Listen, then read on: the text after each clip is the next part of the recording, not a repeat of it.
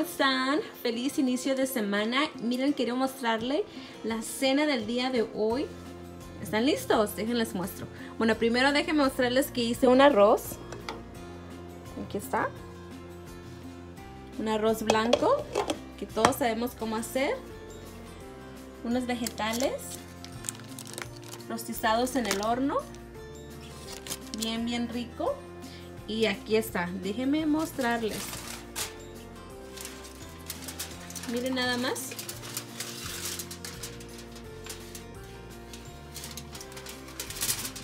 Esta es la cena del día de hoy. Se las quería mostrar porque esta receta y este paso de cómo hacer estos pollos ya los tengo aquí en mi canal, pero lo hice, si ustedes recuerdan, los hice con el pavo del Día de Acción de Gracias, pero en esta ocasión lo hice en pollos, miren. Es la misma receta, la misma técnica y queda muy muy delicioso, muy fácil y muy rápido la verdad. Así que anímense a prepararlo.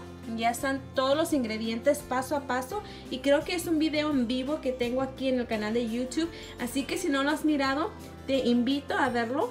Y creo que es el video con más vistas que tengo. Que es el día de Thanksgiving, el día de acción de gracias, el pavito. Y aquí en esta ocasión pues lo hice con pollos. Aquí están, miren. Miren qué bonito se mira. Y ya ustedes lo pueden acompañar con lo que ustedes gusten, la verdad. Miren, pues de aquí yo puse esos vegetales. También a rostizar aquí en el horno. Pero ustedes pueden hacer cualquier vegetal que se les antoje.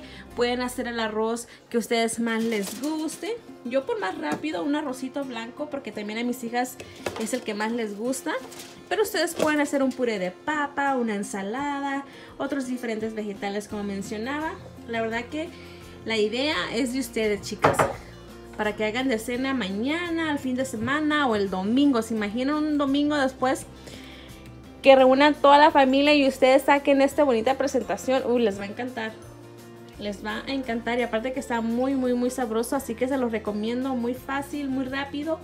Ya solo ustedes lo preparan. Y si gustan lo pueden dejar marinar toda la noche y el siguiente día lo pueden meter al horno bien tapadito a 350 grados por una hora.